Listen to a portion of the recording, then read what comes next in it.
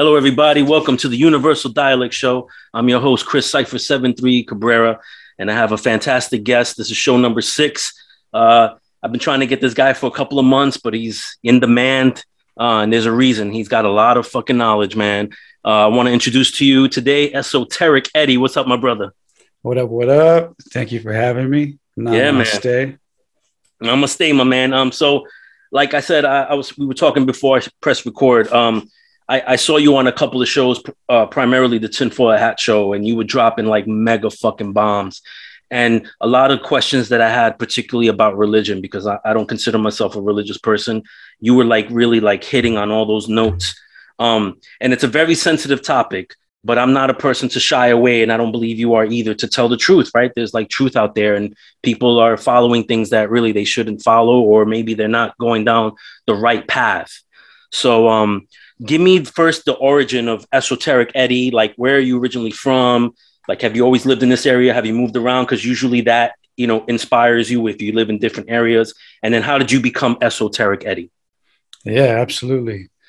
Uh, so I'm originally from North County, San Diego, California. Uh, born and raised there, and I lived there pretty much my whole up to 25 years old. And then at 25 years old, which was about three years ago for me now, I moved to Northern California in the Bay Area, about an hour above San Francisco, in a place called Santa Rosa. It's a it's pretty much the last biggest city in California before it starts getting more and more, uh, you know, country. So I lived up there for for a year from 2020 to 2021. And um, the reason I moved, I'm a plumber. I've been plumbing for four four years now, and I decided I was going through a lot at that time in my life, and I decided, you know what, let me just dip. You know, I, I, there was really no reason for me to stay in Southern California, so I left, went to go pursue my own thing, and and started a new journey up there, and it was a fantastic experience. And then I was there for about a year, and then I came back to SoCal um, for you know personal reasons, and uh, been down here in SoCal for for a year, and uh, now I'm looking at moving out of California altogether. But uh, all throughout my life, I've kind of I've my life has revolved around the esoteric. I grew up in a religious family, both a Christian and Catholic. And I had certain experiences growing up as a kid that kind of led me on this path. Like, for example, I, have always been a writer and I've always loved writing. And it started off with fiction. Um, but when I was in elementary school, one of the earliest experiences that I had was reading this book that had to do with like uh, dragons. And I was reading this book about dragons or whatever. But in in that book, there was a part where they talked about knights and how knights used to fight dragons or whatever. You know, it's a children's book, but it was pretty profound for a children's book. There was a part in the book where they started talking about the Holy Grail and how knights used to try to look for the Holy Grail, this, this, and that. And I remember looking, there was an illustration that like stayed in my mind forever. And it was, it was just like a cave full of treasure. And in the middle of the treasure was like this, this Holy Grail, which you would imagine like a, a golden cup kind of just sitting there shining a little bit. So I'm reading this like probably in uh, first grade. And so that kind of was like one of the first things that stuck in my subconscious, you know, the Holy Grail and Knights, which of course now we know is, you know, the Knights Templar and the Merovingian bloodline or the Ark of the Covenant. You know, it's, uh, there's a lot of debates on what it could be. And then a couple other experiences that I had growing up. Um, there's a lot, you know, but I'm kind of just going over a few brief ones. But another one was my grandpa, you know, who was a pastor um, before I was born, and then he has, he also went through his own you know trials and tribulations with alcoholism and gambling and whatnot. So he kind of left the church. But when when I was about eight years old, you know, he told me that he had seen a UFO before. My grandpa's always kind of been like a distant you know, introvert guy, just kind of smoking cigarettes off to the distance. And when I was about eight, I asked him, you know, like, hey, man, like, why are you always just chilling, looking at the sky? And uh, come to find out, it's because he had seen a UFO and he was kind of always just looking up at the stars, hoping to see another one. And at eight years old, that kind of like shook me because I grew up in a religious family. So I asked him, you know, and I knew that he had been a pastor. So I asked him, you know, well, what does that, how does that make you feel about God? And he kind of just took a drag, you know, looked at me and said, I don't know. you know, and that blew my mind as at eight years old. So at that point, I knew like, okay, there's more to this life. You know, there's more to religion. There's more to the Bible. And uh, kept growing up, and and of course, um, I got into psychedelics, got into cannabis, got into underground hip hop from like 12 to 14 years old. And that stuff really, really started to open my mind up. And right around that same time, I started to hit the books, started reading a lot of, uh, you know, Zecharia Sitchin, David Icke, Bob Frissell, um, a few other uh, authors I can't remember, um, but started reading that stuff, watching documentaries, get into into Alex Jones, and then this stuff just really blew my lid, man. You know, now I'm just like making all these different connections, and life has started to make sense to me. Now I can see why there's all this weirdness and all these ancient, archaic things that are still around us.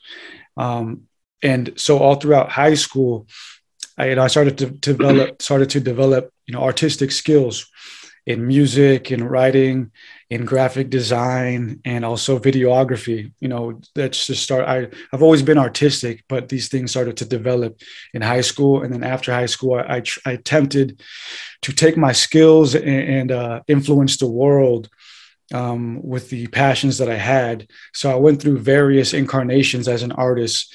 For for an example, when I was in high school, I started a, a little brand a little brand um, by the name of Kill Gov. It was, I used to be more like political in my work. Now I focus more on historical stuff, esoteric stuff, the occult, but I used to be more politically politically driven. So this little brand I had was called Kill Gov, short for Kill Government. I was all into, you know, the conspiracies, you know, we got to take down the government. And it was popping. You know, I had my peers rocking the beanies, rocking the t-shirts of the graphics I was making. And that was accompanied with the hip hop that I was making as well. Excuse me. I was making hip hop at that time, which was also politically driven. What was the name of your group? Do you can you at us? that time? Uh, it was mentally high. Okay, okay, I got you. Yeah, it was me and two other homies, and well, two other rapper homies, and then another uh, producer homie. I would make beats, and then our other homie Jimmy would also make beats.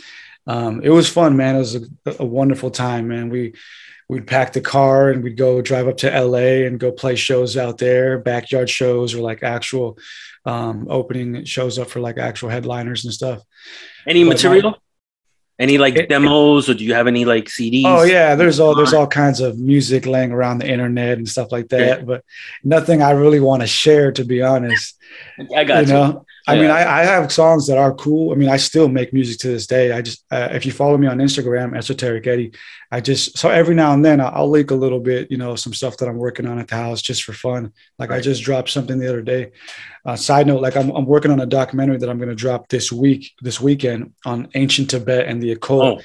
Awesome. And upon upon my research, you know, I mean, I have a hip hop mind, dude. So like when I'm researching like 70s documentaries and I hear cool little jingles in the background, and all I am thinking is like, man, sample. I could sample this right sample. now. and that's exactly what I did. I sampled this little Tibet documentary, threw some drums over it, threw some lyrics over it, and I made a little video. It's, it's on my Instagram.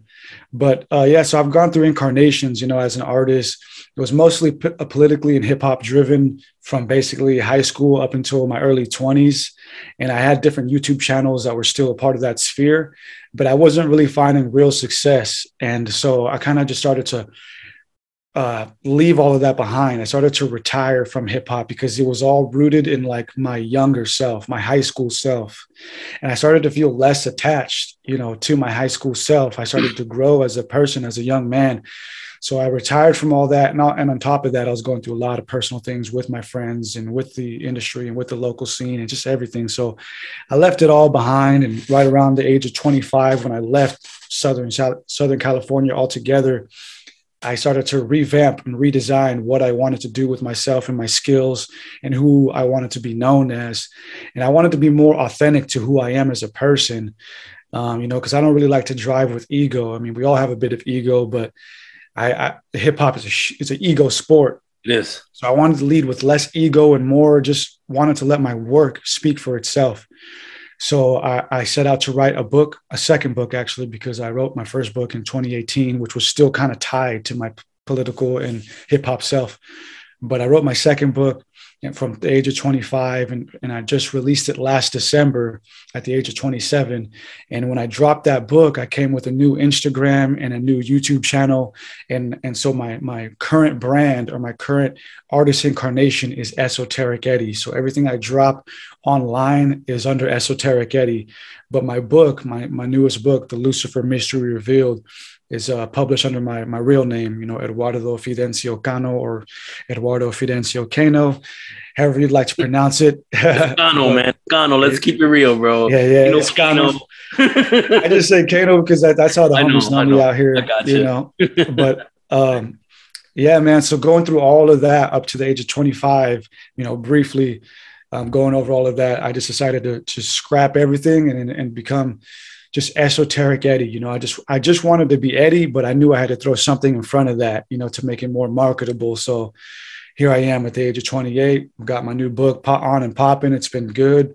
That's awesome. Uh, I've, I've been featured on like close to 30 podcasts now within this short span of six months or less than six months.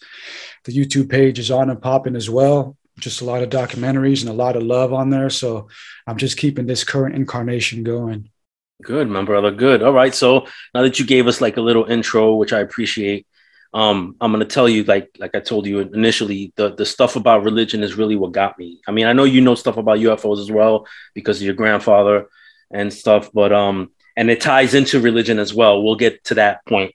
But uh, just to give you an idea, like I grew up in a Roman Catholic, you know, household. So I'm I'm gonna be 50 next year. So growing up in New York City, I grew up Roman Catholic and even going to church i always knew there was something not right. Like even even though i didn't want to be there like most kids they, they don't want to be at church. They want to be at home playing or doing whatever. Even when i was out even when i was at church i was still listening to what the sayings were and the messages and the lessons and all that but something just didn't connect with me. And and it wasn't because of laziness. It was because i, I knew something wasn't right. Like okay why am i showing up to this place with all these people that i don't know and we don't know their backgrounds we don't know who they really are and years later you find out that in that th- that same room the same church there's rapists in that place there's pedophiles and criminals and you know people that are just really bad along with people that just want to get their life together. But um as i got older my mother being a single mother she didn't like christianity because she felt like it was using her I don't know why she felt that way, but that's how she felt. So she tried a, different religions. Now that's where like my I don't want to say expertise, but my experience comes in because I'm not speaking in terms of just Christianity. I'm speaking of terms of my mother going to Baptist church and essentially sitting there and hearing them say the exact same things the Christians were saying. But you know, they would talk shit about each other. So I'm like, okay, you're talking about the same things, but you're talking shit about each other, and you want the same things, but you're talking shit about each other. Then going to Protestant, same thing.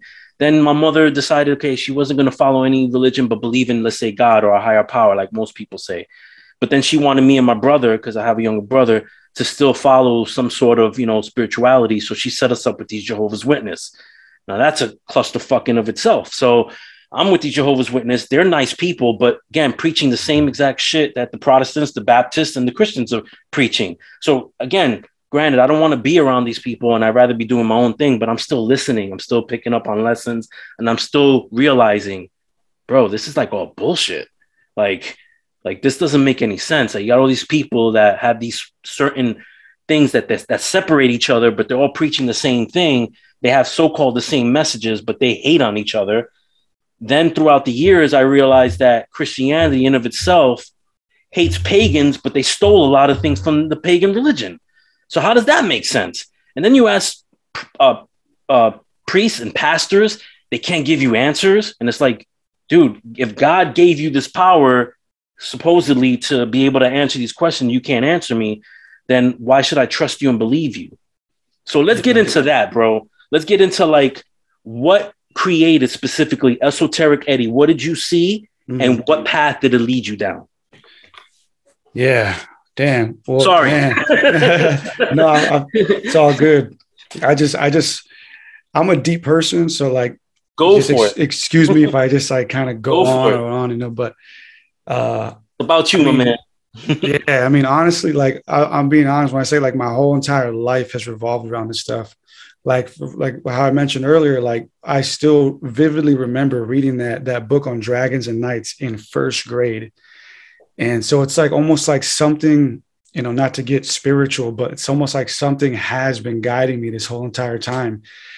And uh like another another important p- uh, part of my life or event in my life that kind of led me on this that I think spiritually speaking was uh my mom she she handed me a bible when i was like 9 or 10 or something. And she said you know she told me the story about king solomon. You know and how king solomon you know he he all he asked god for was wisdom. And so because that's all he asked for humbly god blessed him with all these riches and all these other things. And uh, so she told me that story and she gave me the bible and she said when you pray to god just pray to understand the Bible. He's like, just just pray to him for understanding, for wisdom, for knowledge. And I thought that was cool. I thought that was a cool story as a kid. Like, damn, that's what's up. Like, you know, come to God humbly and, and he'll he'll bless you in many other ways. So I actually took that serious as a kid. And I and I whatever you think God is, the creator, that universal force, you know, uh manifestation and stuff. I, I prayed wholeheartedly as a kid. And I just said, you know what, like forget everything else. I just want knowledge. I just want wisdom. I just want to understand what's really going on out here. And I attribute that moment spiritually to what the rest of my life has really been. I mean, ever since then, I've just been on this escapade, man. Just this knowledge just just unfolds in front of me left and right. But uh, so it's been a lot of different things. For another story, for example, uh, the first Freemason that I ever met was in middle school, and he was an on-site substitute teacher. Everybody loved him. All the kids loved him because he was just cool. He was laid back. He was an Irish guy. He was Mr. McCreary, also known as Mr. Roberts. The kids loved him because he let us be our own people. Like he was never on us or like, you know, like he, he, he let us cut curse also. He's, that's what we, why we liked him. He let us say like crap and, mm-hmm. you know, other, other curse words and right. stuff he was cool. He was laid back. You know, he was mystical and he was he was rich. He was always pulling up in these like super nice cars. But uh, when I was in Saturday school with me and another kid once, it was just me and this other kid, and we were in Saturday school with Mr. McCreary, and we're just kicking back, and he just lets us do our own thing, and we start starts telling us stories, and he tells us a story about this this fat ring that he had on his hand, you know, he was always had this big ass ring, and come to find out, you know, it was a Freemason ring, and I didn't know what that was at the time. So he starts telling us about the Freemasons and how he got the ring from his from his priest or, or the head of the lodge back in Ireland, and and his priest took him to these dungeons and these lairs and showed him all these ancient like all this ancient stuff and like these skeletons that still reside in these lairs. And when his priest was dying he gave he gave him the ring and told him if anybody tries to steal this from you they will die you know, being young, like that stuck in my mind, you know, like, oh, what? Like there's, there's power to this ring. When I was young, I was always fascinated by like the treasure aspect of things, treasure, the powers, like the, that kind of stuff, you know, but, but the knowledge was always there subconsciously and, and it would lead me to these things later on in life. So it was just, man, I'm telling you, like my whole life has just been revolving around this stuff. But, uh, like when like in high school when i got into all this stuff i was the dude man. I was a conspiracy theorist. I like walk around my school like like warning everybody like preaching this stuff like yo like the end is near kind of guy. Like me and my friends we used to like write different things on sticky notes like research planet x research the anunnaki and go stick them everywhere. Right. So it, it really wasn't like one main event you know? I had it's just my whole entire life has been event after event after event. It, but what really set me off to become esoteric eddie was was me being 25 years old you know being a mature you know young man at that point you know, and just going through so much. I mean, 25 years of life, you know, just everything you can think of, you know, I mean, every aspect, love, death, you know, all these things we go through in life, just 25 years of it, sitting there thinking like, this, this ain't it. Like, I'm not done. My work, the work is not done. So I decided I'm going to hit the books. I'm going to go harder than ever and and I did, and I and I published my book, and I, I dropped a new YouTube channel, and I've just been dropping documentary after documentary because I knew, and I still know, the work has yet to be finished. It's far from finished. So what really set me off to be esoteric Eddie was that mindset at 25 years old, knowing the work was not done and it needs to go on. Right, right. So go ahead, my man. So let's let's get into like the, the religion, the religious aspect, because yeah. you wrote a book about Lucifer, and yeah, to me, it's like, man, like let, let's get into that, man. Like Lucifer, everybody believes is like the evil guy. He's, he's Satan, Beelzebub. He's all these different names, but is he real? okay, okay, yeah, we'll get into it. So, yeah, so I grew up as a kid thinking that the devil was real. You know, right. just and it, it, like it tormented me man honestly. Like i used to think that that he was real that demons were real and not to say that they're not. It's just i have a different perspective on them now which i can get into right. after. But uh, so so coming up from that mind state i i always knew that part of my work was going to be um, demystifying and deconstructing you know the religious dogma that holds such a bind on our people's right. minds. That's a part of my work my you know is, is is to do that to free us. So, you know but uh so all right we'll get into lucifer. So my book is about lucifer. It's i explain it as being an academic perspective on the historicity of lucifer within the church and the occult. And when i set out to write it i kind of already knew who lucifer was but uh, I didn't know that I was going to learn so much more about the subject, which is which fascinated me. Right. So we all learned about Lucifer from the famous verse in Isaiah 14, 12 and it's the famous "Oh Lucifer, how art thou fallen," etc., etc. And what I came to find was that Lucifer in the English version, the King James version, is only right. mentioned once, and it's mentioned in that famous Isaiah 14, 12 verse. Wow. And yeah, and Lucifer was concocted uh, through these misinterpreted viewpoints that came from reading that and I'll explain that. So, from the English, we had uh, we well we got the English um, from the Latin, which was translated from the Greek, which was translated from the Hebrew. Now, Lucifer is used once in the English version as an uppercase word or pronoun as a name, but in the original Hebrew, of course, we're not going to see Lucifer. What we see in Hebrew is Hillel ben Shahar. Oh. Okay. Yeah, now, now this is going to take some unpacking here. So, uh, and what language is that? That's because, Hebrew. Okay, so it's in Hebrew. So, all right. So the Bible initially was written in Hebrew, quote unquote, quote unquote. Yes, yes. So, so when we say the Bible, right, we we you know, I guess you can say Westerners, right? Everybody right. in the Americas and in Europe, uh, we we think of the Bible as, the Old and the New Testament, but that's kind of like a, a, incorrect way of viewing it. You know, the, the Bible is actually a culmination of, of various books, and it's actually meshing two different religions together. the The Old Testament is belongs to Judaism, and it's not it's known to, to them as the the uh, the Torah or the Pentateuch, which is the first five books of the Torah, which were apparently uh, or allegedly written by Moses, and then the New Testament, which is what Christianity is based off of. You know, the the Gospels of yes. the apostles. That's the New Testament. So those together is the Bible, right? So the Old Testament was written in Hebrew by the the original Jews, and then the New Testament was actually mostly written in in Greek in Coptic Greek and some of it in Aramaic. Okay, so and um, the Isaiah verse where we get Lucifer from comes from the Old Testament, which was written in Hebrew. So, and Isaiah, for those who don't know, he was a prophet and a scribe, a royal one at, at that not just some random dude. He was a royal prophet and scribe who worked hand in hand with the Hebrew kings. And there, I, I, write a little bit about him in the book, and there are some archaeological evidence pointing to him being a real character, a real person. Okay. Um, so, so instead of Lucifer in the original Hebrew verse, we see Hillel ben Shahar.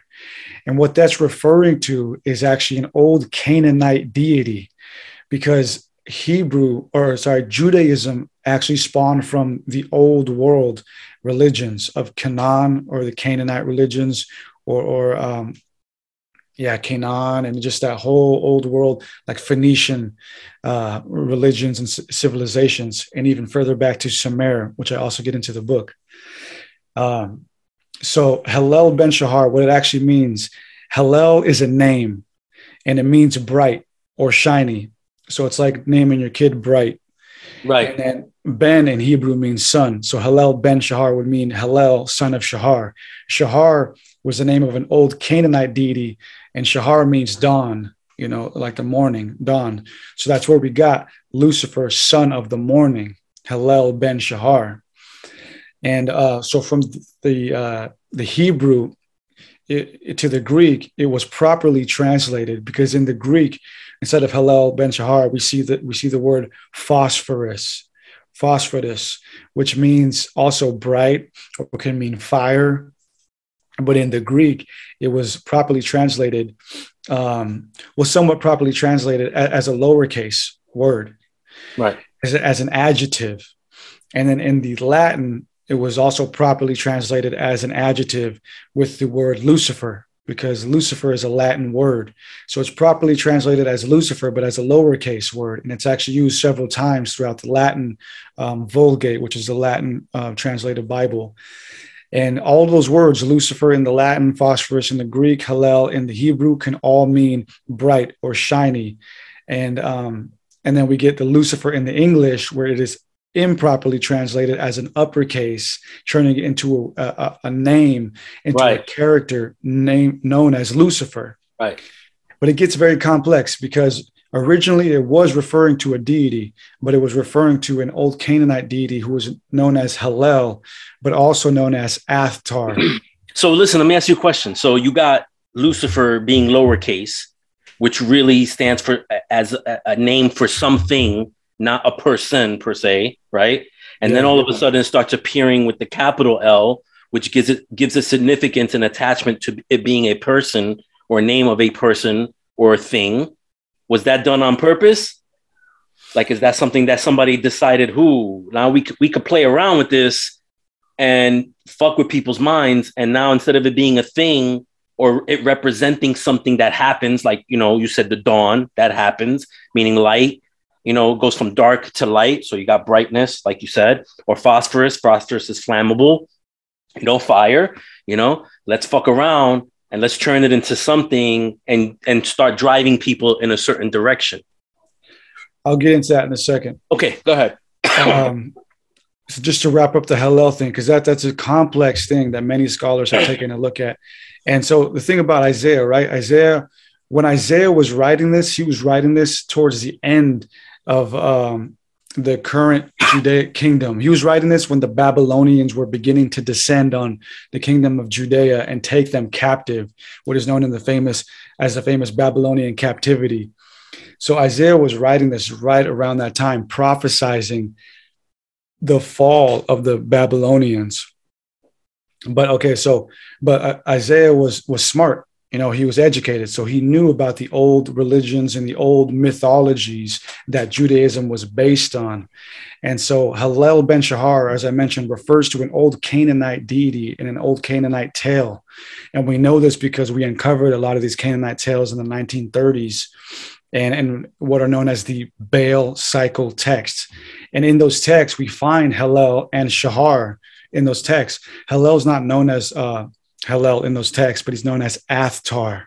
And Athtar um, was actually a male rendition of the earlier Astarte or Ashtar or Ishtar or Sumerian Inanna.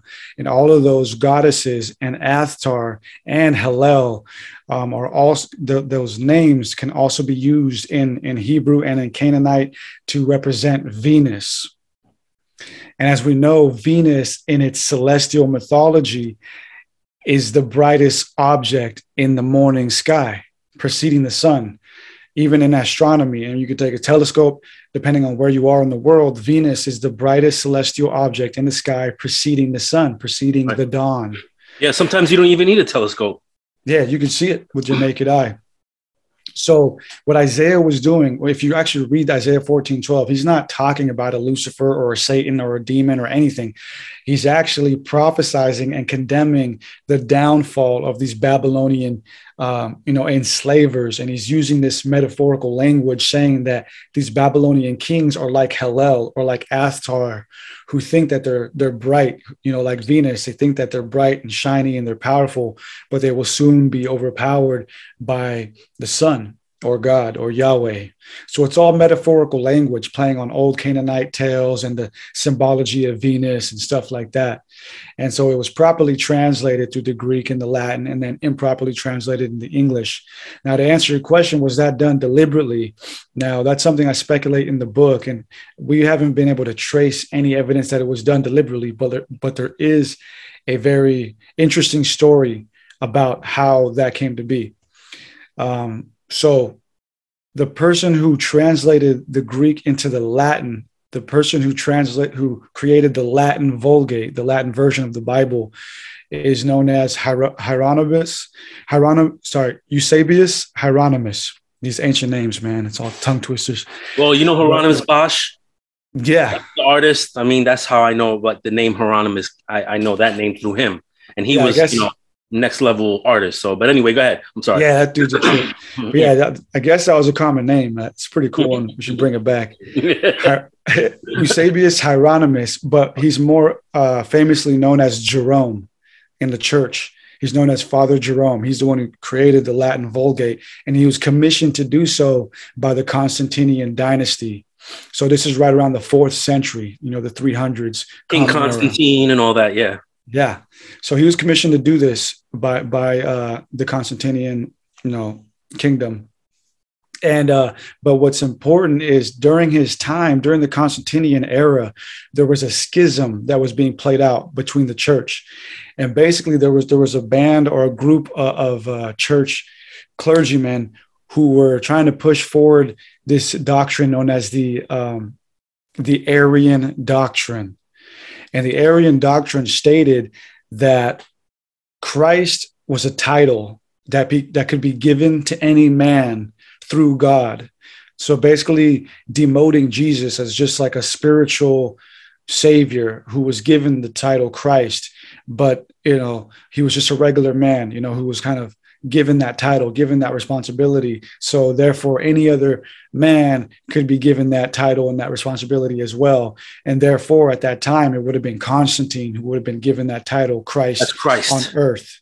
right. That's the Arian doctrine during that now time. let me ask you a question just to cut because the again like growing up jesus christ in churches most of them this surfer looking dude with blonde hair you know blue eyes whatever but then i found out that he might have been modeled after cesar borgia yeah. who was i believe the son of constantine if i'm not mistaken um but like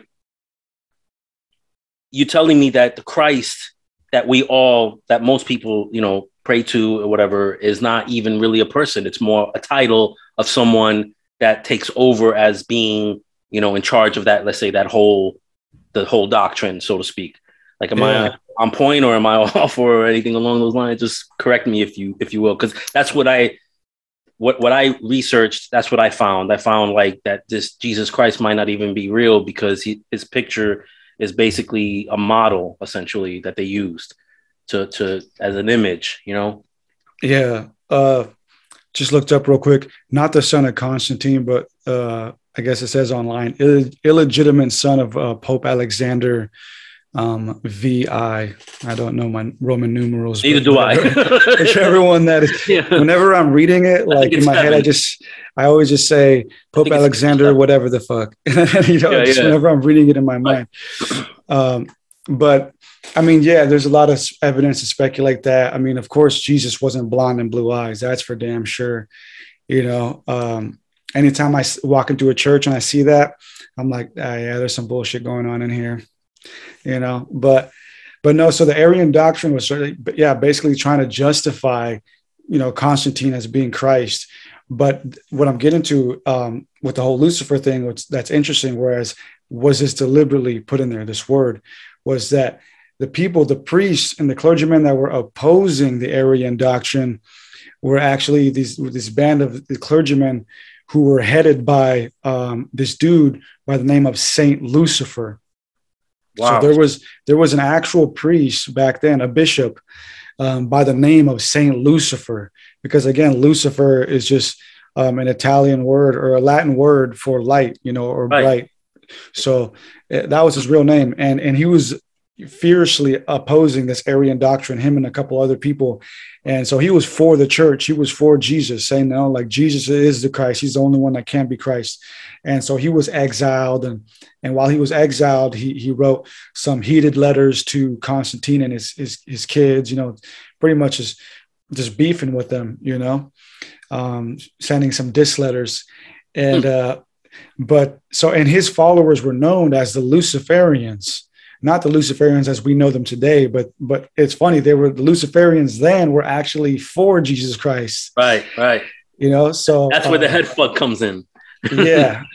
So um and and this is all going down constantine dies his kids eventually you know lose power and then there's new there's new kingdoms and in uh, the new the emperor after the constantinian dynasty i forget his name he was sympathetic towards the luciferians and so he allows them to come back. But this time there's a new debate going on and lucifer is debating saint lucifer is debating all the bishops that converted to arianism saying that if any person you know converted to arianism they're okay to be accepted and, and forgiven. But any any bishop who willingly converted to arianism should be you know excommunicated so they're having these public discourses, these public debates, because that was huge back in the day, right? Having public discourse and debates. And um, these Arians end up using St. Lucifer's logic against him and saying, well, if Christ is the only one that can rule, then he's the only one that can forgive. So therefore, you have no place to tell us whether or not we can be forgiven. So all in all, St. Lucifer kind of loses the debates and is just kind of remembered as this disheveled, bitter bishop and but what's important is the person who was witnessing all of this was Saint Jerome, and he actually has a book that he left behind where he he um, chronicles the dialogues of these debates known as um, the dialogue against the luciferians. So saint jerome was witnessing all of this and he's the one who wrote the latin vulgate which where we first saw the word lucifer used in the bible. So there is some speculation that even saint jerome threw another metaphor on top of isaiah's metaphors of hallel and venus with the word lucifer saying that you know you think you're like lucifer you can go up against you know, uh, the powers that be, which at that time was the Constantinian dynasty, but uh, you know, you can't. You end up losing, yeah. Yeah. So th- that's really the only thing we see as far as the Latin Vulgate. But everything after that, once we start getting into the New Testament and the early Christian church and the early Christian fathers, um, from my honest opinion at this point, I think it was just misunderstanding you know they were looking at it and they didn't really understand what they were reading. For example i, I kind of chronicle that in the book and the, one of the first people we see mention lucifer in the within the early christian church was was origen adamantius. Origen adamantius was in the second century common era so in the 100s the late 100s um, which is right right there you know right at the hub of the start of christianity and um, he's one of the first people to mention Lucifer in his book known as De Principiis. And he kind of he's reading Isaiah, you know, probably you know in Greek or Latin, right? And he sees Lucifer, well, probably Latin, right? Because he sees Lucifer, the word Lucifer, and he's, he kind of freaks out. He has like a psychedelic trip and starts realizing, like, oh man, like there's this whole other power named Lucifer. Like, what is this stuff? So so from Origen Adamantius and onwards, it just took hold. It's just one of those things that just took hold of people, and because uh, we we love that stuff, you know, we love drama, we love villains, we love that kind of stuff, and here we are today with a with a TV show named Lucifer. Right. yeah. it's crazy. All right. So you mentioned like Arians, right? And when you say Arians, the way that you talk about it, it's just a, a group of people, whatever, but if you look at history or the history they teach us, Aryan race leads to the Nazis. So, yeah. so we're being again lied to again. Like that, that, that, that connection is is essentially a lie. Is there any way you can get into that? Like why, why, why are Aryans considered like negative people? Like why, how, what connects them to the Nazis per se? You know what I mean? Sure, sure. Yeah, this is actually uh, perfect because I'm actually working on like a documentary on Tibet and also looking at like some of the Indo-European stuff, where I have been lately. But when I'm talking about the Aryan doctrine, the thing that we just went over, yeah, that's totally different than the Aryan that we're about to talk about. The Aryan that we're talking about is A R Y A N. Excuse me. The Aryan that I just went over is A R I uh, A N. And the Arian doctrine and from the fourth century was, was it's called the Arian doctrine because it was started by um, a dude named Arius. So it was named after Arius, the Arian doctrine. So totally right. different, totally different, but just coincidentally, you know, lines up with Constantine and the Romans. So it kind of has that weird etymology that can kind of be connected. Right. But the Arians, this is the interesting thing about the Arians and the Nazis. Um, that I so I didn't know this until recently because I'm doing all this research for for new documentaries I'm going to put out. There's a debate that's been going on for a long time, almost a couple hundred years, about what's known as the Aryan invasion theory. And there's a theory, mostly in Western scholarship, that there was a band of, of white Indo Europeans that invaded the Indian continent um, sometime in like 1500 BC, if I'm correct. And it was these white Aryans that invaded India around around 1500 BC these that gave it its early culture. Uh, and there's there's been it's a huge debate that's still ongoing within within academia, and each side claims that they've ended the debate. So the Western scholarship says, "Oh, we have these archaeological evidences, these genetic evidences for the, the Aryan invasion theory," and then the Indian scholarship says, "Like it's all BS. It was all, you know, um, white imperialist doctrine and dogma to begin with. There is no genetic evidence for it at all. But where it all comes from um, is actually the Sanskrit Vedas. So the Vedas are the holy books of, of Hinduism and, yes. and pretty much the, the and all that. The Bhagavadas and all that. Bhagavadas yeah. came came later. Those were additions. The Vedas are like there's four of them, I believe. There's four Vedas that that are dated to around 1400. Um, but then like Bhagavad Gita and all that stuff, I believe, came later. There were additions but the the word Aryan comes from the Vedas, and it's it's only you. It's another one of these things like the word Lucifer. It's like briefly mentioned in the Vedas, right. and it and the Aryans refers to these these group of people known as the noble ones. So I guess Aryan or Arya it means like noble.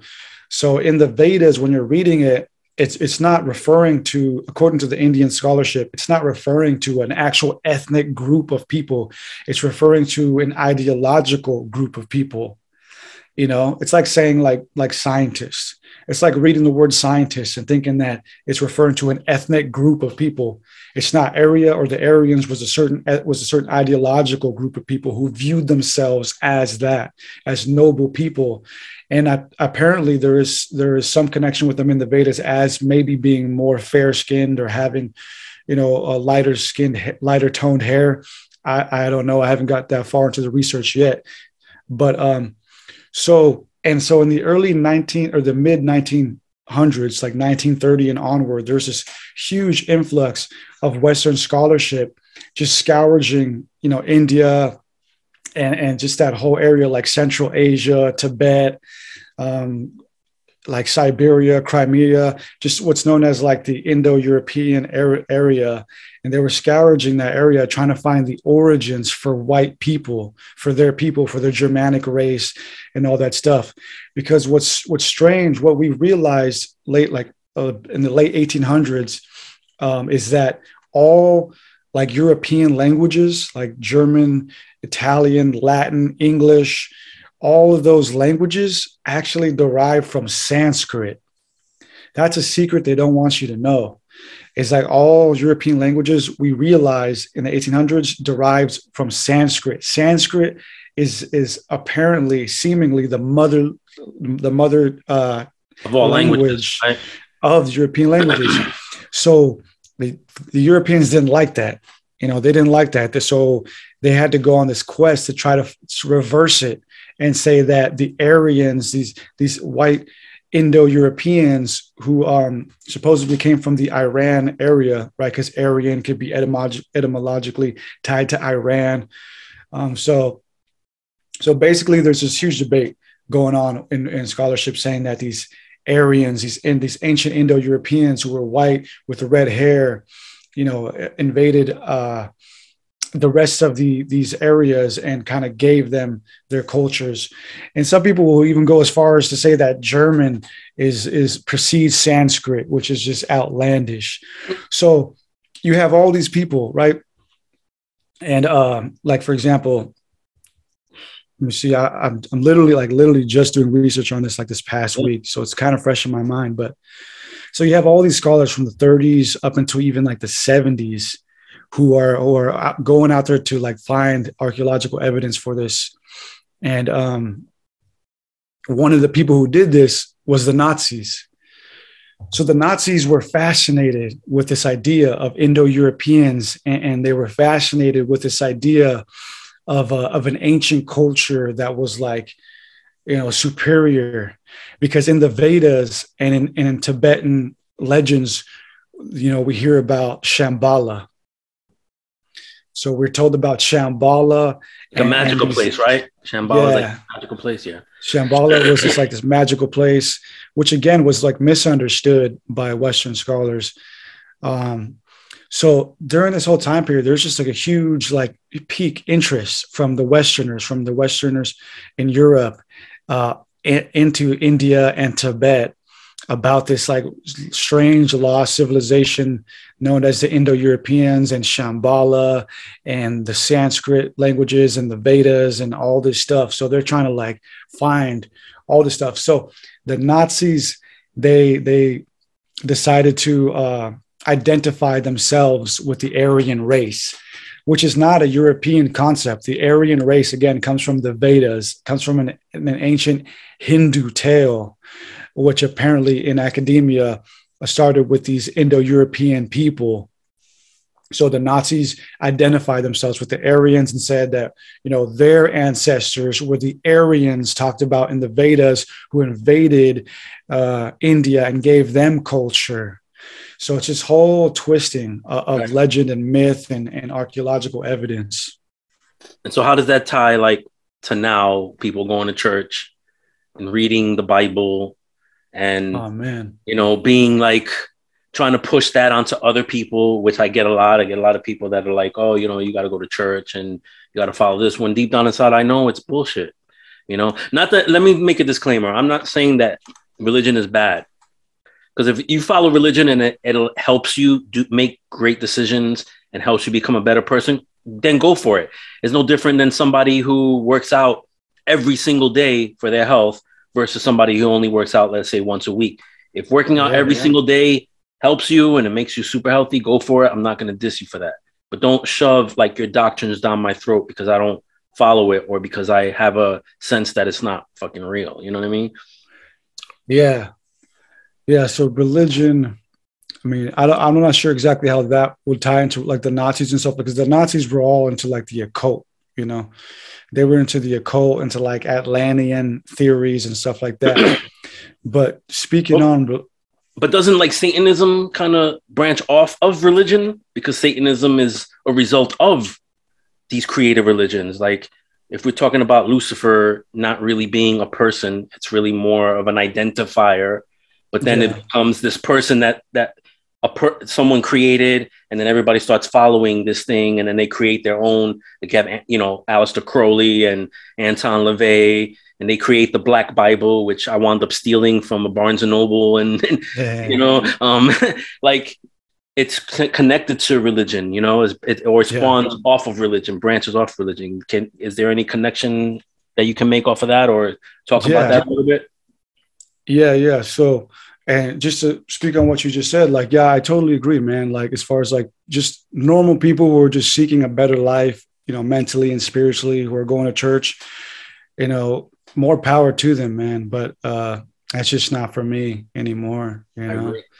there's there's way more to look into, you know, and, and I always feel like people like us who actually dive deep into the history of the Bible, dive deep into the history of religion itself and the institutions that profess to be the holders of this knowledge.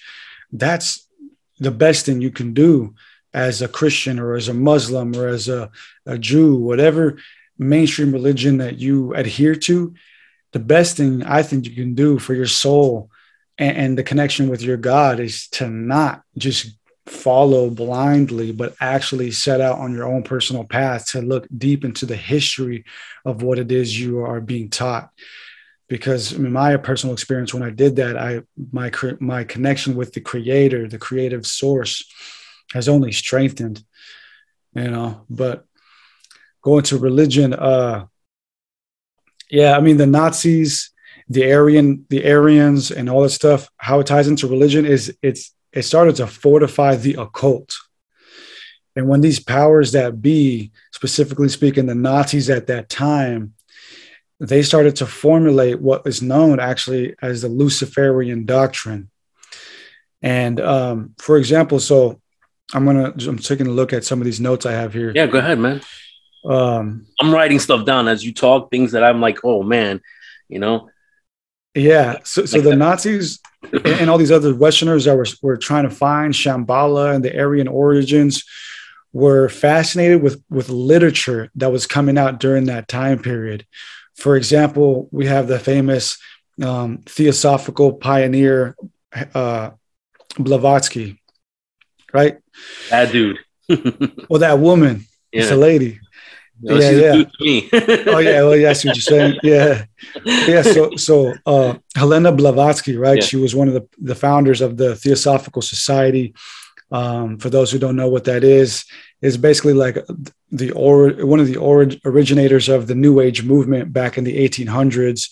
You know, she claimed to like be in in con- contact, spiritual contact with these uh, ascended masters from Tibet you know, in, in the, today's age, within the occult and the new age movement, and even like the spiritual movements, we, you hear this term a lot, like ascended masters, and and you see people doing seances and con, you know connecting with these higher realm beings, and that all kind of came from Blavatsky and Theosophy.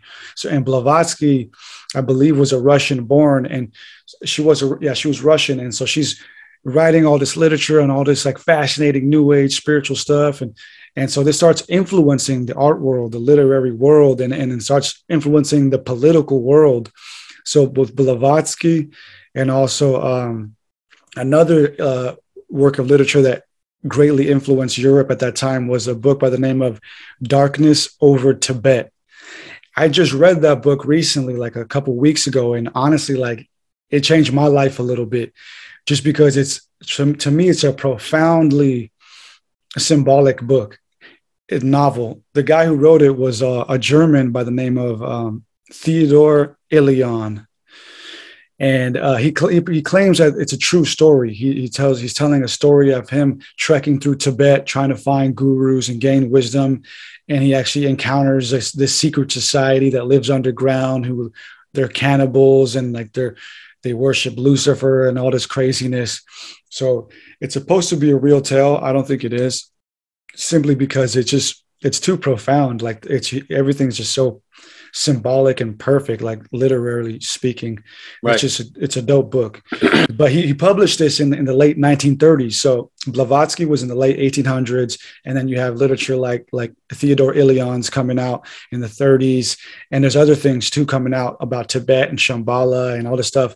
And some of that starts to creep into to the nazis. And the nazis themselves had a an office dedicated to um, archaeological discoveries known as the Ahnenerbe.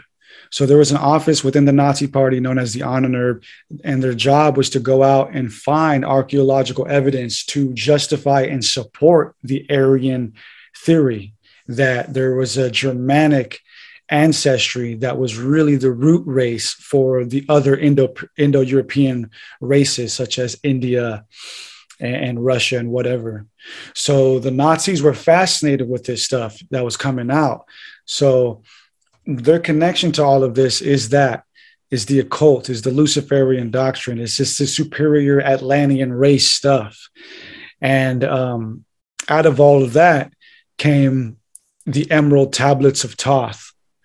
And for those who aren't familiar with that, the Emerald Tablets of Thoth have incalculably influenced the esoteric community in so many ways. For example, I'm sure you know who uh, Billy Carson is. Yes, I like Billy right? Carson. Yeah. yeah, everybody who doesn't, right? Billy Carson, Forbidden Knowledge, all that stuff, Gaia TV, Ancient Aliens. Right. He's everywhere, and his most famous book is the Compendium of the Emerald Tablets, right? And so but the Emerald Tablets that taught the Atlantean as we know them and as we love them were actually given to us by an American occultist by the name of Dr. M. Doreal. And he wrote them, he published them in the late 1930s, again, amidst this whole frenzy of Tibet and Shambhala and ascended masters and the Aryan race and the Indo Europeans, all this stuff. And again, he, like most of these other people, claimed to have spent eight years in Tibet uh, among these ascended masters who gave him the emerald tablets, who were liter- which were literally, literally um, emerald tablets, and he he was given permission to translate them into English. And what the re- the result of that was the famous emerald tablets of Thoth the Atlantean that we all know, which Billy Carson um, has made a book on. And so all of this is coming out of this era the 1930s, the 40s, the 50s. And so all of that connects to the occult. And then uh, here we are today, you know, with, with the esoteric community, the occult community, which is right. kind of playing on the left hand path, as they call it, which is, um, you know, sovereignty through knowledge as opposed to sovereignty through being saved. Right, right. Yeah, because you, you bring up uh, like the Nazis and, and going on this like archaeological like journey. And it brings up even though it's a fictional movie but these producers know what they're doing. So you talk about indiana jones and they and you see the nazis doing the same thing there. And even though indiana jones you know the name indiana indian you know mm, that's all yeah, connected yeah, i mean it's not they're, they're like they're like fucking with us. They're throwing it in our faces, and then I let it, you know, and we're not picking up on these sorts of things. Plus, you also mentioned like how they, you know, were uh, particularly like you know the Nazis, like Hitler. He was trying to find uh, deities and gods to help him, and Crowley was able to connect with this deity called Lam. I don't know if you ever heard of it, L A M. Oh. And when he drew it, it looks like an alien gray so there's that connection to like the U- UFOs and yeah, and that yeah. can can you talk anything about that? Is there like a connection between religion and this thing that's going on now where you know the US government's now admitting that there's things in the air that they can't, you know, don't know what they are, you know, like UFO. Yeah. Yeah, I have. I also have a documentary on my uh, YouTube channel uh, where I get into the occult, UFOs, and psychology. And yeah, dude. So so Crowley was obviously huge in the occult, you know, just just a, a pioneer in, in, that. And everybody has mixed views on him. Some people, you know, dislike him, some people like him. I'm indifferent, you know, obviously like as a researcher, I just I just focus on the result of people's works and how that result those results impacted the world and Right. You just remain neutral. You're neutral. You're neutral. Exactly. yeah, so Crowley like you just mentioned, one of the most fascinating things about his work um, was that he contacted this being by the name of Lam that dicta- dictated um, the book of the law to him. And as he, he later on drew this being, and it looks almost exactly like a gray alien. Um, the only difference is, is the eyes look a little right. more human. But, uh, but yeah, he drew this prior to there being any mainstream image of the gray alien, or any even then any reports of UFOs. So this being dictated the book of the law to him, and I don't know if you've read it, um, but uh, I have, and it's just a, it's a wild thing, you know. To okay, either one of two things: either it was dictated to him by this being, which is just crazy if it was, or two, he just it came from his own imagination, and even if it did, he did some pretty heavy intuitive prophesizing because what that book is about is about the coming of a new age which in the book is known as Crowleyanity. And this, this yeah. And so this being Lam is, is like aggressively prophesizing through Crowley about its age that it wants to um, usher in, which is going to be, and, and it's crazy when you read it, at least for me, it's almost like we're living in that age. It talks about, you know, everybody being a star and how its followers, Lam's followers, will be known as stars. And, you know, like stars, Hollywood, Hollywood Right. stars. And so just all this stuff and how, like, yeah, it- it's just, it talks about ba- basically what it's talking about is gonna- it's an era of moral subject, uh, subjectivity. I believe that's the term Yes. right right where, where there's no f- fine lines of, of morality everything's just fluid that's basically what it's saying is there's going to be an, its age will be the age of anything goes Anything goes, right? And that's what we're living in now. right if we're not so um crowley man yeah so he writes his book he has this experience and then him what ties him to the ufos even more so is the work that he did with alan uh, alan parsons and l ron hubbard Yep. so for those of you who don't know yeah L. Ron Hubbard, right, the father of Scientology, uh, and Jack Parsons, who was actually a pioneer in in just jet propulsion technology. So, like, with he pioneered the science behind how jets work and, and rockets and stuff like that. So he had a huge part to play in NASA and, and world rocket ship in general.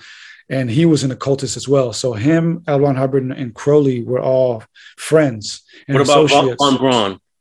'Cause I Uh, know he was- Von Braun. Yeah, I know he was a part of that too. Yeah, there's no, as far as I know, no connections with those guys. But of course, he was a Nazi. He was he was a high-ranking Nazi official who was assimilated into our government through Project Paperclip, Yep. who worked closely with Walt Disney. He worked closely with Walt Disney in creating a lot of those, you know, weird like educational videos that they used to do. But he later on renounced his work and and and actually apparently told his assistant, um, Dr. Carol Rosin, about the coming fake alien invasion.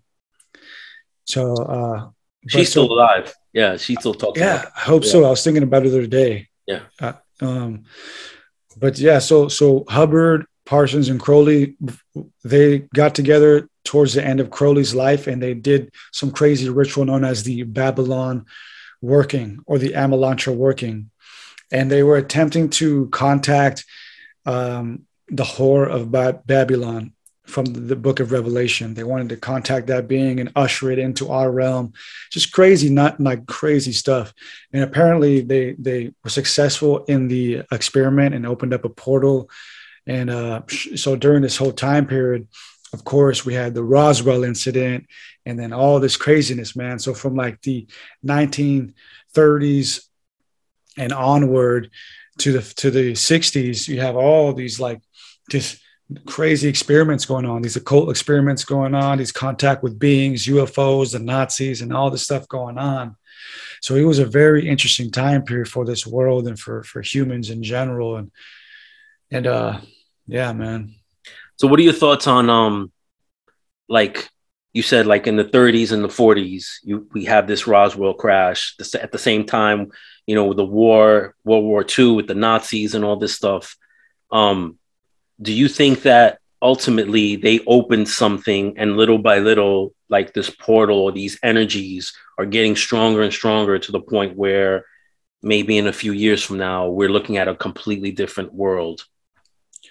Yeah, yeah. Um because you know you have to add cryptids in there because you know yeah you had like reportings of like bigfoot type creatures way back in the days but like now you have all these different cryptids now you have many sightings of, of bigfoot now you have dogman and part of that all these other weird creatures that people are seeing now you know I'm, I, I don't think that they're uh, coincidence i think they're all connected in some way Yeah. Yeah. So uh, where I was going to go with that, I just remembered. So in my documentary, and this is something that I recently kind of concluded for myself after, you know, looking into this. Um, I kind of side with like Carl Jung and, and uh, Jacques Vallée, you Yeah. know, who's also a world-renowned UFOologist, and that a lot of this stuff is like, it's uh, interdimensional, but it's also subconscious. For so I, th- I think like magic and psychology are sisters of the same science, and, and in some in some cases are practicing the same exact thing but just different terminology. So for us to like contact these beings, what we're really doing is we're reaching into the depths of the collective subconscious and we're calling these things from the collective subconscious into this reality, into this realm. And I think, and in some cases, these beings are trying to get us to do that. And I think that quantum physics also fits in with this as well, because whatever, excuse me, whatever it is that oh. we're, whatever it is that we're living in, you know, this this realm, this dimension, this universe, it's it's it seems like it's an illusion, like we're not really seeing all of the picture, and that it's somewhat impenetrable by these other beings unless there's some sort of cooperation by us. So, kind of like vampires, like they're calling for us to allow them in. They can't come in unless we give them permission to come in, or we we create the path for them to come in. And then I think maybe when once they're in our realm, they maybe can't stay very long unless we keep giving them that power, and then ultimately they can stay forever. Is that like, am I on the right path or am I bugging out?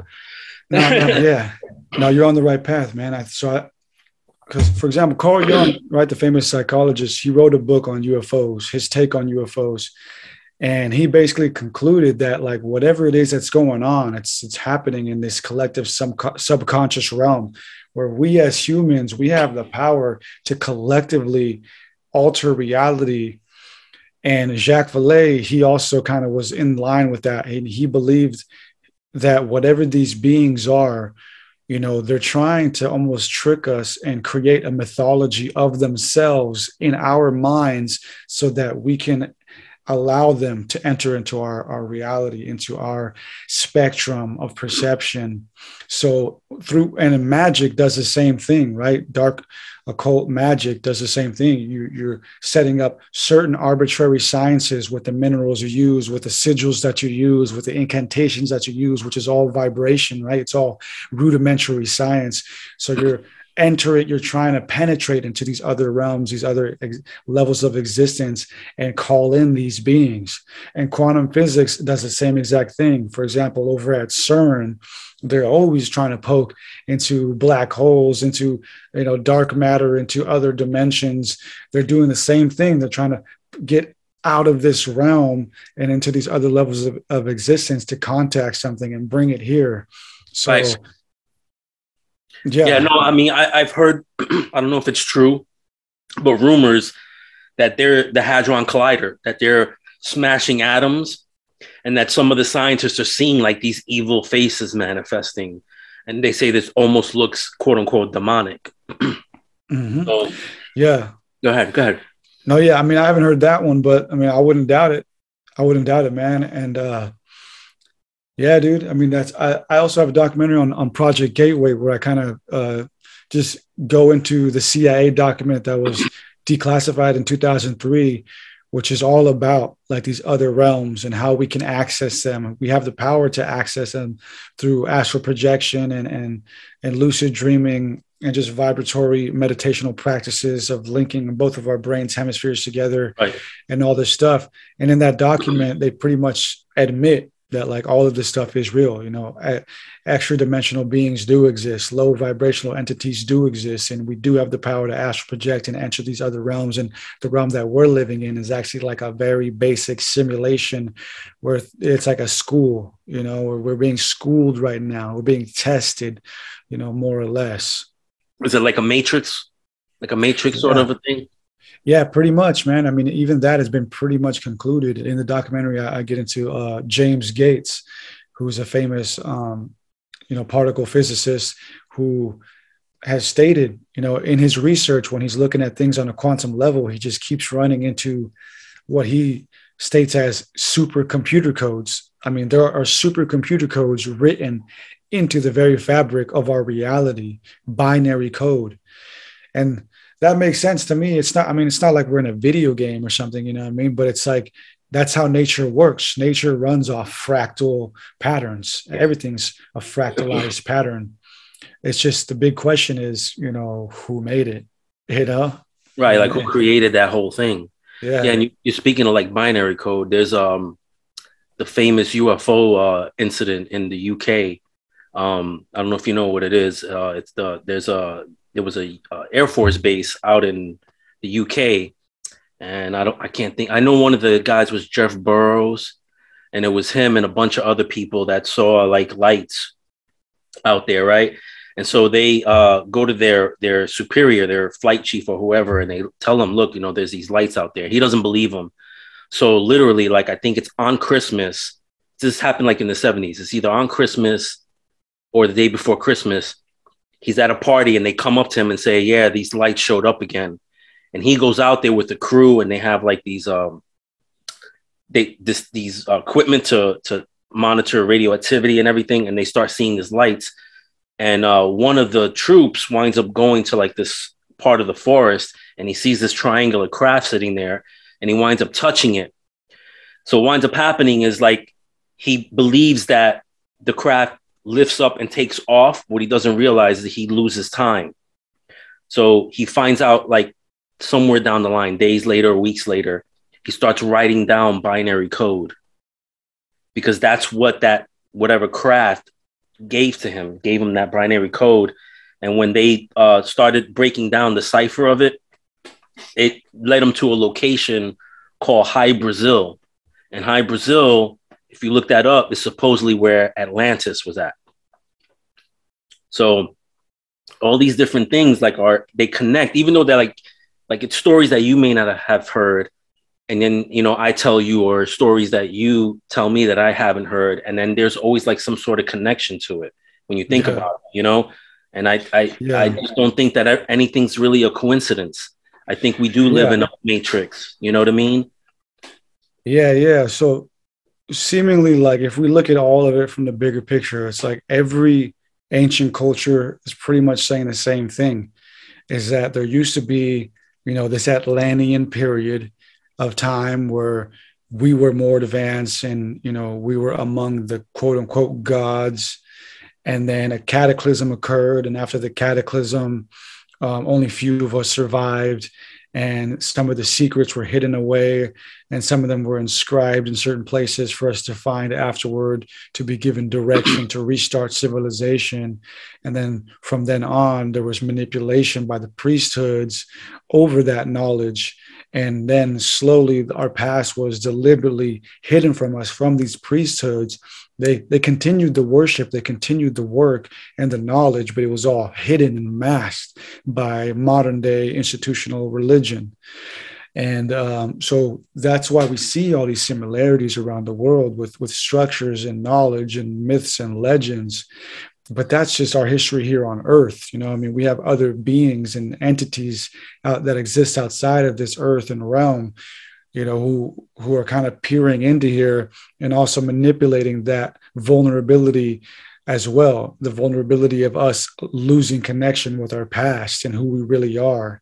I mean, for some people, like for example, you take a, a kid, right, just running around eight or nine years old. I mean, man, they, they really have no idea what's really going on out here. It takes decades, you know, it takes decades to to barely start to wake up, even if that you know, and, and but for some people it's too late. You know, for some people it's like they're in the last years of their life and they're barely starting to realize like, oh man, we've been duped, you know. But right now we're having a mass awakening and people are really starting to realize that there's so much more to our history, archaeologically, historically, spiritually. Um, so we're starting to rebuild that connection. And I think people are, are kind of thirsting for that and really starting to take their power back. So what what have you had any like experiences like uh UFOs or anything you know weird? Because I, I figure you, you're doing all this research, you have to be thinking about things, and when you think about things, I think you bring things to you. Because I know I have yeah. a, have years of experience. I would love to hear it, man. I always love hearing like UFO stories and stuff. For me, sadly, I guess you know, uh, I don't have any UFO stories per se. I mean, I've seen weird things up in the sky, like little, but I, nothing that was like fascinating. Like, damn, that was a UFO. Like me and the homies, we used to kick back and, and uh, just go night watching sometimes, and, and we'd see some weird stuff. We'd see some stuff that was like flashes, like weird flashes, things moving way too fast. you know, but as a never like something that I can actually say like, yo, that was a UFO.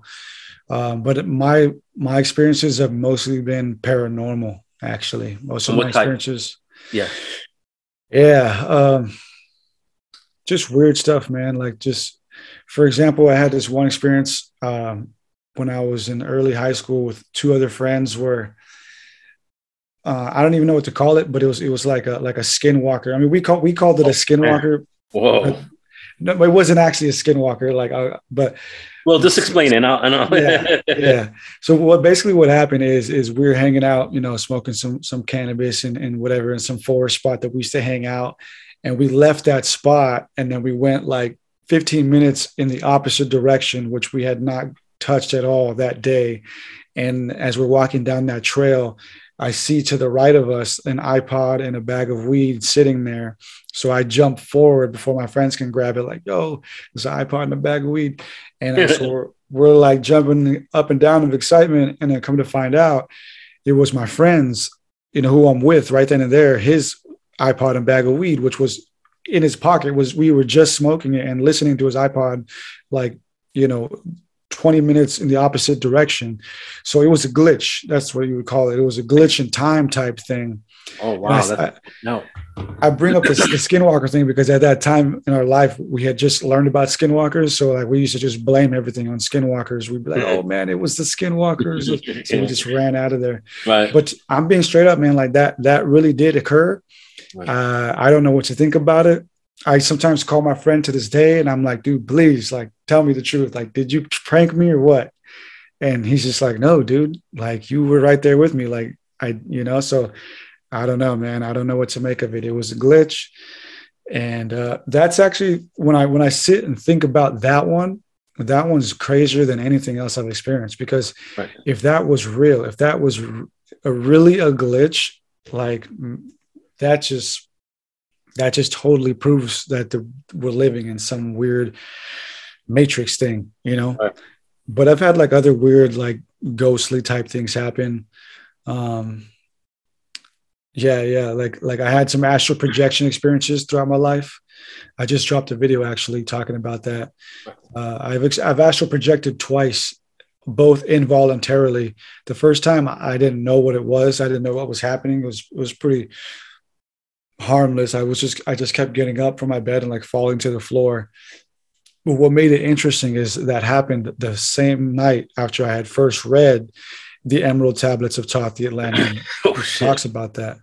Yeah, I was like 13 years old reading the Emerald Tablets, and and I remember it had a huge impact on me, man. Like it's to this day when I sit there and read it, like eh, I mean, it's whatever M, Dr. M. Doreal did, man. Like whether that was truly from Tibet and from Thoth or not, like that book just has power, man. For sure, right. it's powerful. And then the second astral projection experience I had was years later when I was like 16. And then this one was actually weird. I actually encountered like this energetic entity. It didn't have any like actual form. It was just energy, just darkness. But uh, in the Emerald Tablets of Thoth, the Thoth teaches you how to expel these deities, how to use your life force, your light force, and, and expel them. So I felt like it was almost a training experience because I got right. to actually use that. did and I expelled this being from from my astral um, state. But uh, yeah, those are just a couple, man, to to briefly mention. Yeah, I battle shadow people all the time. That's like my whole life, bro. Like battling yeah. shadow people, man. I see UFOs like almost on the daily, man. Yeah, like actual yeah. craft or like objects. Craft. Objects, craft, lights. Tell me the craziest craft story you have, or one of them at least. One of them. Okay, so um, I got interviewed for the show, uh, The Confessionals with Tony Merkel. Yeah. If you go on there, I think it's like maybe 315, the show number 315. Look up Secrets of Area 2, right? Because okay. that's yeah, because you were in the military, right? You said I was in the military. I was in yeah, so, okay. Station at Nellis. And uh yep. and so I'm a, I'm a brand new guy, like like what they call a slick sleeve. I didn't even have a rank like on my on my shoulder and uh, we're working in this spot called Area Two. And Area Two is uh, what they call a WSA, weapon storage area. And now it's not a big deal to talk about it, but back then I couldn't. But we had nukes there at that place, and we had missiles and other stuff. So that's what we were guarding. I was yeah. I was a cop, yeah. so I'm guarding that area. and I'm brand new and I'm in a truck with a, a, a partner of mine, he's he outranks me because they never want to put two people that are lower ranked together, especially somebody who's brand new. They want to they want the the older person to you know teach the new person how to do the the ins and outs of, of every day. So every patrol had at least one or two people that were higher ranking. So the person that was with me was like I think an airman first class, and after that you become a senior airman. And so I was just a basic airman. So it's me and this one guy. We're in the truck and we go, we meet with this other patrol. I don't want to get into it. If you listen to the episode, it's free. You can listen to it. But yeah, we meet up with another patrol and we're just talking shit. And it's about maybe 20 minutes before we're supposed to get relieved to go home. And we're on the back side of the weapon storage area. And the back side of the weapon storage area is nothing but desert. Now, granted, we're separated by three types of fencing and the fencing is highly like secure. Uh, the middle fence is electric, and then the two out the outer fence and the inner fence is all hooked up with cameras, all types of, of stuff to de- detect if anything is near it, because it's sensitive stuff. You know, we're talking about nukes, right? Yeah. And and other weapons and other stuff. So we're there, hanging out, talking, and all of a sudden, the series of triangular lights pop up now, nobody's supposed to be out there in that desert, not civilians, not even other military, unless they let us know ahead of time that they're going to be out there doing whatever exercises or whatever. Yeah. But at that time of night, that never would ever happen, meaning like an exercise or anybody would be out there doing anything at night where there's no light, you know? So uh, my partner calls it in and it creates this hoopla. They don't let anybody go home. They send teams out there to investigate. And when I mean teams, like me, when I first got in, I was only certified on the M16A2. And so I was only allowed to carry that weapon. Later on, I certified on other weapons, but it was me and this other guy. All we all we're carrying is like assault rifles. That's it. And the other team that we met up with to talk, same thing. But the team they send out there was a guy with the M240 saw gun, M60, M203 that's attached to the M, uh, M16A2. You had the flight chief out there. You had an officer that was out there. They bring us back, right, into their offices, have yeah. us fill out this memo. We fill out the memo. They bring us in together, you know, as a group to talk about it. Then they bring us in separately to make sure we're telling the same story. Yeah. Then they told us it never happened. Don't talk about it. The next day, they told the whole flight, like the whole group, that that that day that worked, don't yeah. talk about it. And we never like we never really talked about it. But that was a crazy incident because it's Thank not God. something that was conventional. It wasn't a helicopter because it yeah. made no noise. Okay. And whatever it was, you couldn't see the shape of it, but I can see that it was a mass because it was blocking the stars that were behind yeah. it. So something was there and it didn't move. Like it wasn't moving. It just the just lights hovering was hovering, and then it just boom, it was gone. That's wild, dude. That's wild. Yeah, yeah. And then you got all this stuff with disclosure happening now, you know, and you know, of course, the conspiracy community is kind of nervous, thinking that they're getting ready for Project Blue Beam, right? The fake alien invasion. Right. You know, but uh yeah, yeah, that's wild, and it all ties in. It all ties in, and man, well, the thing wild. is, like you, you've been, you know, you've been studying this stuff, uh, and the, like from what I understand from listening to you, and not just you, just other people, it's like nothing is separated, even though you guys do essentially study different parts of things. Yeah. Everything essentially is connected. Like paranormal to me is not just ghosts and spirits when people talk paranormal to me, that's the umbrella and everything cryptids, UFOs, ghosts, angels, demons, and, and whatever all fall under that umbrella. And everything's all connected because if you hear stories about people that have run into like a, a, a creature like a Bigfoot, yeah. then they'll say that they see an orb or a craft later, or vice versa. Yeah. They'll see a UFO and then they'll see a Bigfoot or a creature, or, or you know, people that have seen Loch Ness have also seen craft come out of the of of the loch, like USOs come out. Yeah. Like yeah. you know days later or hours later. So to me, it's like everything's pretty much all connected. But what is it? That's the problem. That's the question. Yeah. What is all this? What are we living in? Yeah. And like you said, it's a te- it's a test. We're living in a realm where we're being tested, and uh, I, I don't know. I think we're end times. We're in it. Mm. We're in the end times right now. Yeah, man. And if we take a look at like where this ties in with like religion and all this stuff, it's like no matter what it is politics, religion, education, the medical field all the institutions are trying to control the narrative of what this is and how to go about it. And it's interesting how like we talk about like the one world government and everything being this this one global thing. And I think it all started kind of with religion in, in a sense because for example judaism which which holds a huge grip of the people's minds also through christianity and all of its denominations judaism was was the official you know institution of monotheism. But as we now know the judaic culture its its stories its mythologies its doctrines were based on the old world mythologies the canaanite mythologies the sumerian mythologies in which they were polytheistic you know all for example this, all the, the stories in genesis are almost borrowed renditions from the sumerian tales where it wasn't one god but it was two gods you know the brother gods enki and enlil and in some cases some of their sisters and some of their other brothers. So with judaism we start to see the actual formation of this one hive mind thing. And uh they're starting to, to do do away with the ancient cultures, start to do away with the ancient knowledge and, and the esotericness of it all, and just kind of just simplify it. So it's all being simplified, it's all being dumbed down, it's all being pushed towards this narrative of don't look to the past, don't question anything. It's all good, it's all taken care Right. of you know and the last card as dr you know werner von braun said or as carol rosin claims the last card is going to be that fake alien invasion that's going to push it all into connection it's going to make it all click Yeah, it's kind of like that meme where you see that that cartoon of this of the dog drinking like coffee and there's fire all around him and he he says it's fine. You know, Yeah, like everything's fine, you know? And uh and and I I came from um an education like background meaning like I recently like stopped working for the education field out here in Central Florida.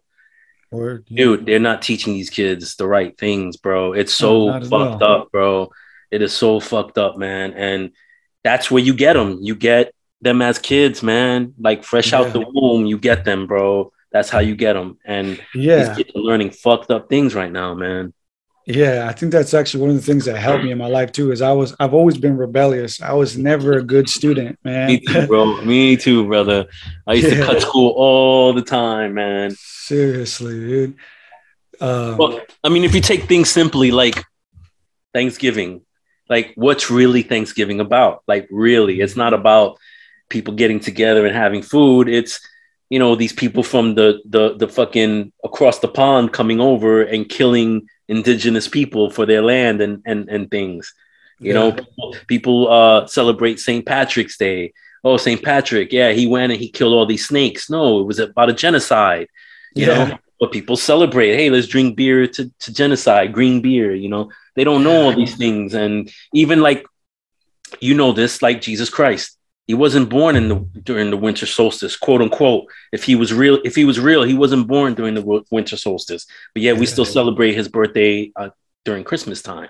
And he's not a white dude with blonde hair. If anything, he's an Arabic dude with dark skin. You know, yeah probably probably dreadlocks, man. I mean, yeah shit, you know, like it's it's all fucked up and this discombobulated, and people eat that shit up, bro. Like, man, Yeah, for real, dude. It's like that's why we got to do this work, and that's why I do the work that I do. Is like you said, everybody plays their part, you know, in this truther community, which is you know the larger umbrella term. Everybody does their part, and uh, I started off with the political aggro aspect of it, and then you know I kind of moved from that. And my part to play now is is this esoteric history part. You know, like Right. we got to make sure the history is correct and it's on point. Other, otherwise, it's going to be manipulated, and the narrative is going to be told in a certain way, and then it's just going to repeat itself. You know, but Yeah, man. So let me ask you a question. Like what you're doing, you're testing the waters right now. Have you felt any backlash? Have you felt any anything weird? Like anybody like trying to maybe stop you from doing what you're doing? Not yet. Okay. You know, not yet. But like, yeah, no, not really. Honestly, I've had the opposite experience. Like everybody's just rooting for me, you know, giving me some love, you know. Right. But um, probably eventually, you know, eventually I probably will uh, meet with some real, real repercussion. But I hope not. But I, I feel like you're gonna hit a nerve. Oh yeah, you're gonna hit a nerve, man. If you haven't already, you know, and and you're on the list already. Like I'm on the list, on the list. Oh yeah, just, for sure. Just for doing this, yeah. I mean, the, the stuff that I used to say, like I said, I used to have a brand name called Kill Gov. Right. You know, I have it tattooed on my hand, on my finger. Right, right. You know, so like that's actually one of the reasons I moved away from the like the political stuff of it. I still research politics every day. I still try to stay in tune with that but I moved away from it because I realized I was making an impact and I was influencing my peers and specifically the people younger than me. And I was like, I don't know if I want to lead them down that war path, you know? Right. So I, I kind of changed gears and I wanted like, I just want to lead with education, with enlightenment, you know, enlightening people's education and their minds towards uh, being sovereign that's really what I'm, I'm, most important what's most important to me is, is teaching people how to be sovereign. And we can't be sovereign if we're institutionalized. No if you're trapped you can't do anything. Yeah. so okay so before we end this if you had to give advice to people uh what books or where what sites or where should they go to get information to kind of lead them down I don't want I don't want to say the the better path, but just some sort of path to the truth. Yeah, absolutely. Um, two books that I started with that right. really changed my life and got me set onto this. I'll say three books. And uh, first is uh, William Bramley's The Gods of Eden. It's a good little brief book that, that just kind of touches on all the stuff we just talked about. Right. William William Bramley, The Gods of Eden. Another one would of course be David Icke's uh, oh, David Icke. Yeah, yeah. It was not Children of Children of the Matrix is a dope one. I, was, I think that was one of his first. Tales from the Time Loop. There we go. That's the one that I read when I was in high school. David Icke, Tales from the Time Loop. Okay. He does a fascinating job of like getting political, you know. That's what I really like about his work. He, he knows who's who. He can give you names. He can give you dates. That's what I'm gonna try. I'm, I'm gonna try. I'm, I'm, gonna try to reach out to him to get him. But yeah, yeah. what else? Yeah. What's the third book? The third one, uh, damn, what was it? Oh yeah, this one's uh, nothing or no, something in this book is true by Bob Frissell, F R I S S E L L. F R I. F R I S S E L L. I believe. Okay. If you, it should show up, Bob Frissell. Something in this book is true. He's got one called "Nothing in this book is true" also. So okay, um, I got you just for starters, man, like I, those books were one of the first few books that I read back in high school that like. And what's really the name of your first book? Off. My Shut first up. book. Yeah, your first book, so I can get my, people to get on your, your stuff, man. Uh, my first book, it's it's, it's not um, available right now, is but it's titled "It's the Anunnaki Theorem." I'm actually rewriting that one to be released later this year with updated information and having it professionally edited uh, but my second book, which is the book that everybody knows me by now, is yeah. uh, the Lucifer Mystery Revealed. Okay, that's the one too. And uh, I just released a documentary version of it on YouTube. So if you want to check out the documentary first or whatever, it's up there for y'all. Okay, so I kind of wanted to end this, but I can't help it. You brought up Anunnaki, and I'm very interested in the Anunnaki. And you have in- individuals like um, Zecharia Sitchin but people are starting to turn on him now, saying that his his interpretations were wrong. Now, what's your knowledge of the Anunnaki? Man, that was one of the first subjects that I was obsessed with. Yes. You know, back in high school, and still am. I still love the subject. Highly respect Sitchin's work. However, more recently, I've been starting to see, you know, what these critics are saying about him. You know, so I mean, I always had my crit- my critiques about him just because I read his books. I've read almost all of them. So I, there were little things, little nuanced things that I would pick up about him and his research style that I didn't like. Like for example, like there were some tablets that he just he would he wouldn't reference. You know, like he there's some things he just wouldn't reference. So, I'm so like, he'd mention them, but he'd just like leave it. Yeah, he just wouldn't. He, okay, he wouldn't reference it, and then uh, he would repeat himself a lot. You know these are just little things that i picked up for myself. But uh, more recently because i'm rewriting my when i first dropped my anunnaki theorem book back in 2018 i was still gung-ho about him and his research and was kind of pushing the same you know repetitive narratives that everybody who's obsessed with him does. But i've since then taken a more critical look at what he's at his work and kind of like researching what his um, you know uh, competitors are saying about him and i'm starting to realize what they're saying i'm starting to get get it. So my viewpoint on him now is that he did kind of, um, I'll say, manipulate things to fit his narrative. But what I like about his work is that he did what nobody has ever done before him, and I think even after him. And he he was able to take a look at all the world's major cultures in fine detail. I mean, like if you you got to read his entire Earth Chronicles book before you can before you can have an honest opinion on his work. Because when you read those entire those that was like seven or so books in those in that series, man, he goes into like insane detail about all these cultures and their mythologies and makes just fascinating connections. So what I love about his work is the speculativeness of it, how he was able to speculate on such a highly detailed level about this uh, supposed global race of beings by the name of the Anunnaki and how they influence all the world's cultures. So that's what's great about him. But there are some things that he did kind of manipulate to fit that narrative. But that's not to say that we won't find evidence in the future that will prove him right in his intuition, because we have not even come even close to deciphering all the Sumerian tablets that are out there. Matter of fact, they're trying to stop us from doing that. We've only right. been able to decipher the same 10,000 or 15,000 since we've discovered the hundreds of thousands from the 1800s.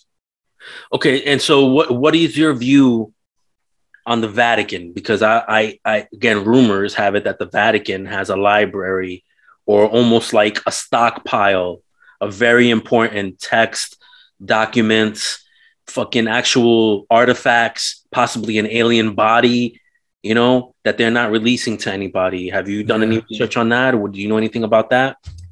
I haven't gone deep into it yet. I would love to. I'm I'm fascinated with the idea of the Vatican library theory. I mean, they do have a theory, a, a library. They do have a basement. That's that's fact. And don't they, don't they also have a telescope named Lucifer? I looked into that. Uh, uh, apparently, it's not actually named Lucifer, but it's like a sub acronym for it. and but, they, but yeah. supposedly they see UFOs and things. And but anyway, yeah, well, it's on Mount Graham here in the United States. I forgot what state, but it's it's. I think it it is, or if not, like one of the largest telescopes in the world, which is like crazy. Like, what are they looking for? You know. But when it comes to the Vatican and all that, um, I would refer people to Mauro Biglino if you've heard of him, Mauro Biglino. Oh, he's he's made he was actually uh, an Italian translator who worked um, for a third party through the Vatican. So he actually used to work, I think, um, somewhere in South America as a translator through a third party for the Vatican. The Vatican would send his company and stuff documents, and then they would translate them into modern languages. Uh, and apparently, he realized that you know Sitchin was right, and that the Vatican knew about the Sumerian origin of the Bible and all this stuff. So he's got a famous book um, out. I forgot what it's called, but Mauro Biglino. He's he's he's uh, used to work for the Vatican and claims, yeah, they know what's up. They know about the aliens and the Anunnaki and all that. Okay, that's dope, man. Have you done any exploration yourself? Have you gone anywhere to do any sort of exploration? Because I saw a video, I think, of you in Mexico, if I'm not mistaken. Yeah, yeah, I was out there on vacation, but I tried to get you know some some little clips and just some stuff out there while I was out there, but not yet, man. That's something that I I would love to do, you know, and uh, uh, hopefully eventually later on in my life that will kind of be a part of my work. Right now, unfortunately, I'm still trying to set up myself within the system to be sovereign. uh, I'm getting there. I'm actually more sovereign than I was, you know, even just a few years ago.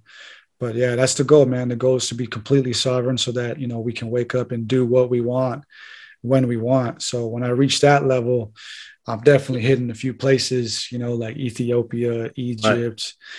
all kinds of places. Right, because Ethiopia is supposedly the um, what's that thing supposed to be in Ethiopia, the Ark of the Covenant. Yeah. Yep. Yep. Yep. I got a documentary on that one too. so listen, so as we end this, dude, let me know uh, what you have. What's what's in the future for Esoteric Eddie? Is it documentaries, books? You know, you're gonna be on any any of the Ancient Aliens TV shows because I I can man. see you being on on something like that, man. That'd be kind of dope, man. That would be dope. Uh, not yet though. I, am gonna try and make that happen for for the people, man. Everybody wants to see me up there, and uh, so I'll try to make that happen eventually. But as of right now, just the the usual routine, man. Just gonna be dropping documentaries on YouTube every month, um, and uh, on Instagram I drop you know personal content if you want to just keep up keep up to date with other little things that I'm doing. But yeah, documentaries gonna be dropping the Anunnaki theorem this year and um, just keep it rocking, man. Documentaries and books, and try to move up the levels to uh, eventually influence this world in bigger ways to help out. So, how many documentaries do you have now? Do you think? Uh, somewhere, somewhere between, um, you know, fifteen and twenty. Right. I don't know exactly right now, but somewhere around then. Yeah, I'll so be dropping a new one this like this, this weekend. And then you have a book that you had out, but I guess you took it back and now you're rewriting it, and then you have a second book, so you're gonna have two books. So are you working on the third eventually? Yeah, third one. Uh, I've got a couple ideas on what I want it to be. Nothing set in stone yet, but yeah, yeah, I'll be steadily dropping books over the next you know few years. I'm not sure when I'll retire from that, but I love writing in general. So I want to get back to writing fiction also. Actually, right. I started writing fiction when I was a kid and all like kind of based on this stuff too. I would love to write fiction to also kind of influence people in a different way, you know, because it started with fiction for me. It was the fiction and then it led to the nonfiction. Right. That's usually how it is, man. So, my yeah. dude, thank you so much, man. I really appreciate you coming on. You killed it. I mean, this is for sure one of my best episodes. Um, you know, hopefully I'm, I'm getting better and better at bringing awesome guests on, and I hope that this can generate more, you know, traffic your way. Um, thank you. Yeah, thanks, yeah. brother. I appreciate it, man. Hey, thank right? you. Stay, uh, stay safe, man. Absolutely, brother. Peace. Peace. Namaste, man.